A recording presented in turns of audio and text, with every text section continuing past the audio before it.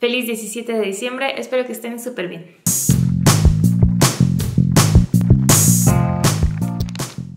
El género de hoy para este calendario de Adviento es autoayuda o automejoramiento. Y para este, uno de mis libros favoritos ha sido La magia del orden de Marie Kondo.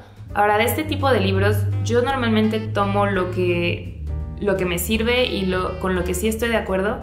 Y aunque este libro tuvo muchas partes con las que no pude estar de acuerdo y no iba a seguir al pie de la letra, el resto del libro sí me aportó lo que necesitaba y lo que estaba buscando de este libro.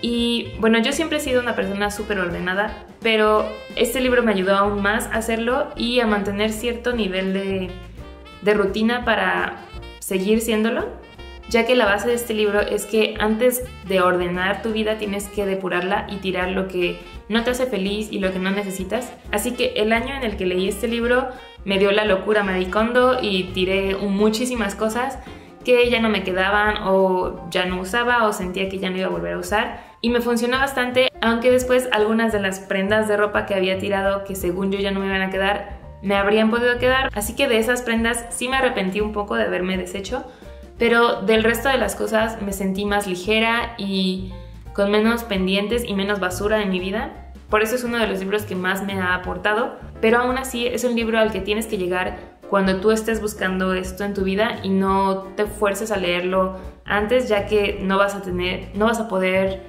sacarle provecho.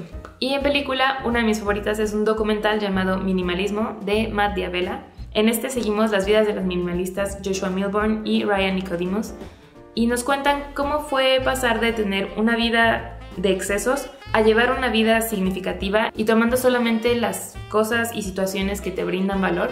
Y aunque yo no me considero una minimalista para nada, siento que este documental me ayudó a ver cómo una vida con menos excesos te puede ayudar a llevar una vida mejor y me ha ayudado a bajarle a esos excesos y a valorar más lo que estoy aportando a mi vida, tanto en lo material como en lo personal, así que por eso es una de mis favoritas de este género. Y eso es todo por hoy, recuerden compartir sus favoritos de este género en los comentarios de abajo. Gracias por ver este video y nos vemos mañana en el próximo.